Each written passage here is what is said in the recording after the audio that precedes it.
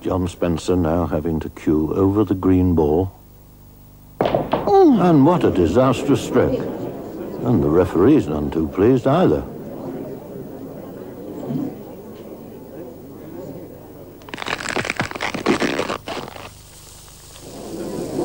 Well, that's most peculiar.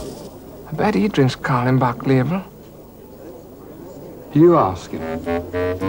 Uncompromising referees insist on a pint that's brewed to give a fuller flavor than any other leading lager.